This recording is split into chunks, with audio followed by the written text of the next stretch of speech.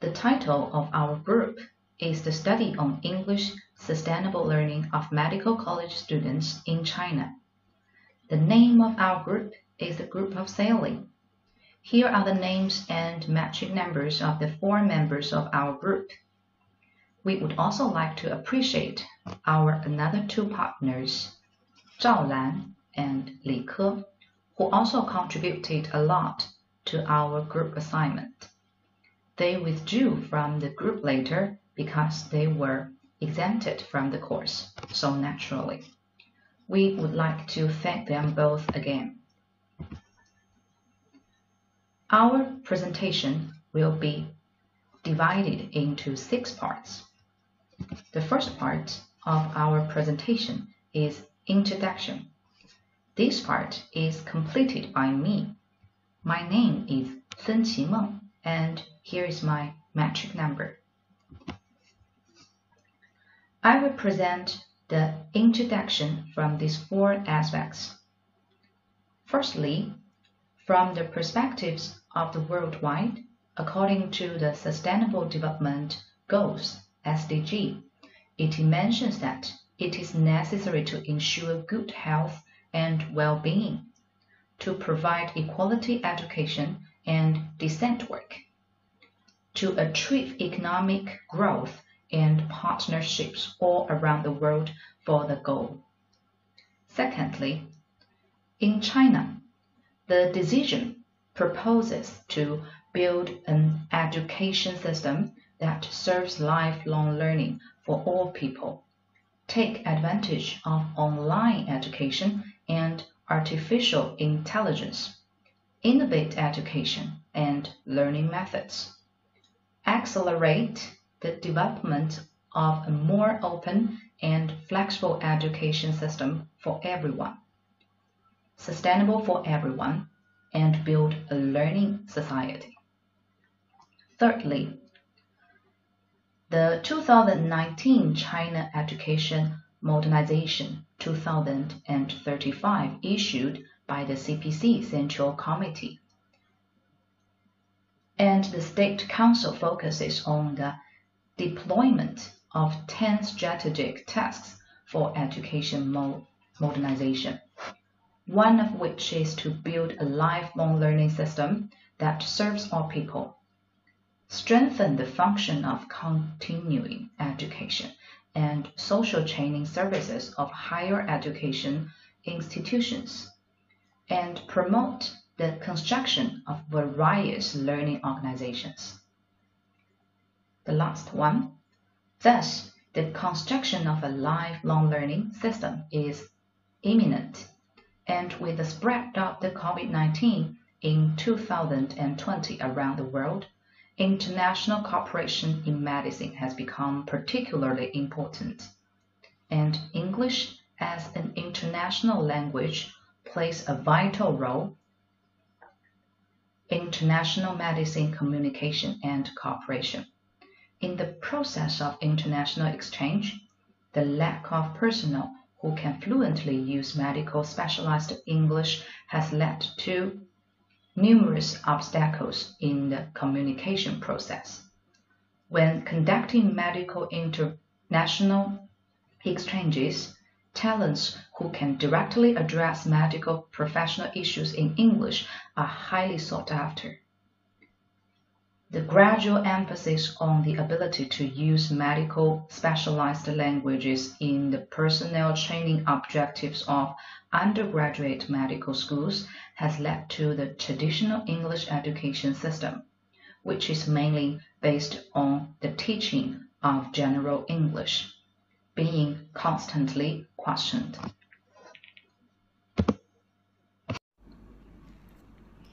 And now let's focus on problem statement. As we know, because COVID-19, all the world requires more international medical practitioners to cooperate with each other. However, the current teaching situation in our country is not optimistic. The problems can be divided into two parts. The first one is in college study.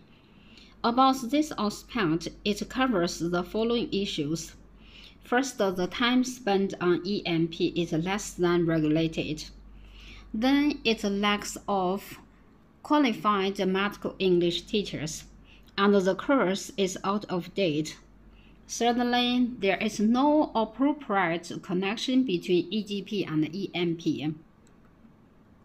Next is after graduation.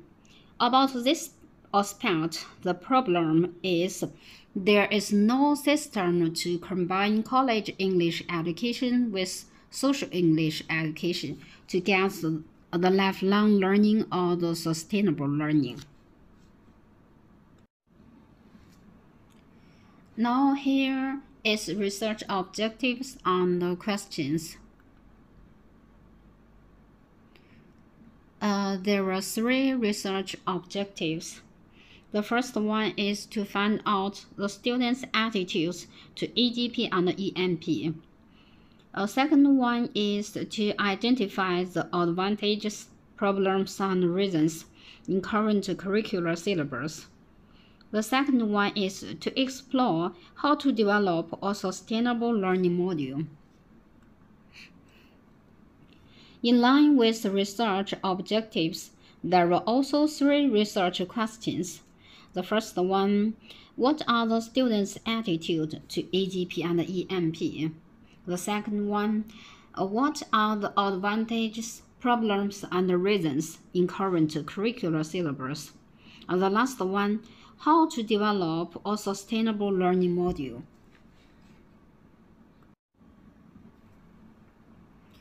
Now let's move to the literature review. Many scholars in China studied the EMP. For instance, Ni Chuanbin uh, studied students' needs for English.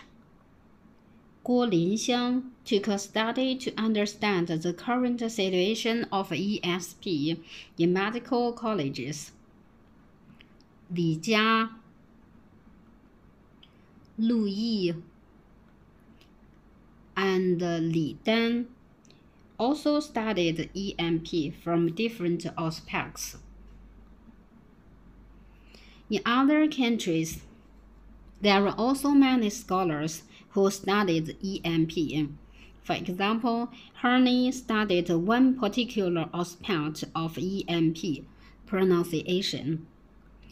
Albernon McGarry analyzed the medical students' needs and scholars from Iran and United States also studied EMP. This cross-sectional study was designed based on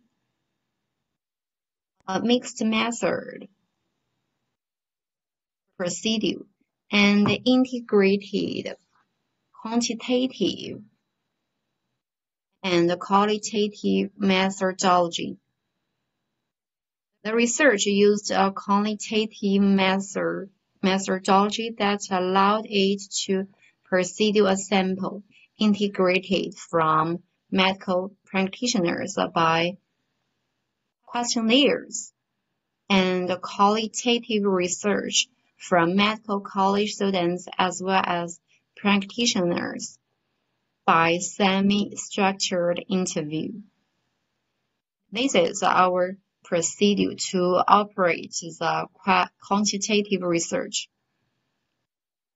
Our participants are from medical practitioners, and our questionnaire aims to attitude uh, to judge the attitude toward EGP and EMP.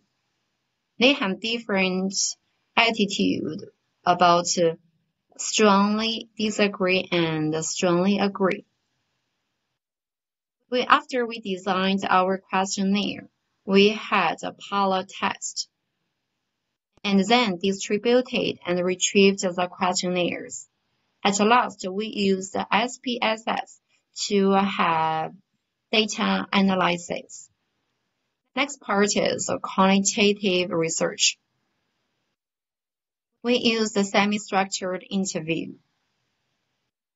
Designed interview protocol pilot study and refined the interview questions. Of course, we have already obtained their permission and then conducted interview, transcribed and analyzed in interpreted the transcripts. At last, we summarize the findings. And we get, we got the conclusion from this study. There are three results we have got from the study. The first one is college medical students and practitioners have strong designs for better speaking abilities. And number two, many medical students and practitioners cannot read books or periodicals and write applied writings well. Last one is the course design and modern teaching materials and teachers for ESP are unrealistic and inadequate for medical students and practitioners to meet the requirements in the working fields. Uh, this is our discussion from this research. Um, because limited time, the course should be designed more reasonable and realistic. Of course, we come up with an English learning method. However, further exploration is still needed to develop the mode. Last but not the least, if this study involves other countries, um, such as South, especially South Asian, Asian countries, we can cooperate with each other to foster more medical talents and practitioners to combat COVID-19. That's all. Thank you so much.